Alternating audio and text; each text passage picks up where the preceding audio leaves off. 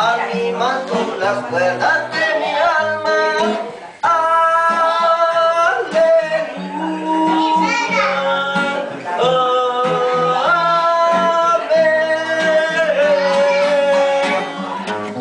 Y tú María, María, hazme música de Dios. Y tú María, María, anima tú las cuerdas de mi alma.